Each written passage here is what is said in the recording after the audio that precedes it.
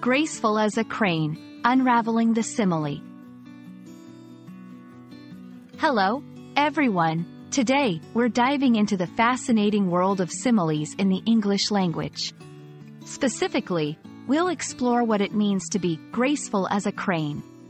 Understanding similes can greatly enhance your English comprehension and enable you to express thoughts more vividly. So, let's embark on this linguistic journey together. Similes are a figure of speech that compare two different things using the words like or as. They are used to make descriptions more emphatic or vivid. For example, saying, as busy as a bee, paints a picture of someone with high energy and constant activity. Similes add color and depth to our conversations and writings, making them an essential part of English language learning. When we say someone or something is graceful as a crane, we're drawing a comparison to the elegance and poise of cranes. Cranes are tall, slender birds known for their smooth and effortless movements, especially during flight or when they're dancing during courtship rituals.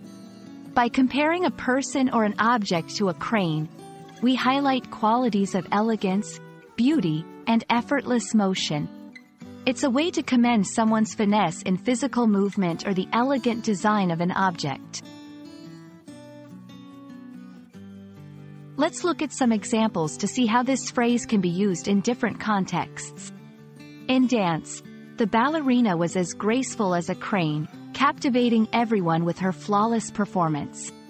In sports, watching him glide across the field, he was as graceful as a crane, even with the ball at his feet.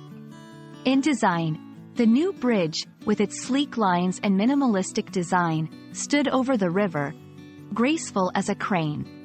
These examples show how the simile can apply to various scenarios, from physical agility to the elegance of architectural designs.